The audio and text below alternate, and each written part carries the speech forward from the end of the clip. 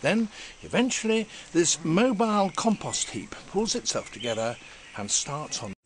In this tree, there is one of the most extraordinary. Um, boring through his eyeball, turning him blind. Astic leaf eater. A couple of half-hearted chews, and the leaves go straight down to its. Stomach. This is a very unusual sight. A sloth in a hurry. It wants to defecate, and the only place it's happy doing that, oddly enough, is down on the ground. The reason, it must be very important. This extraordinary creature is half blind. A very unusual sight. A sloth in a hurry. It wants to defecate.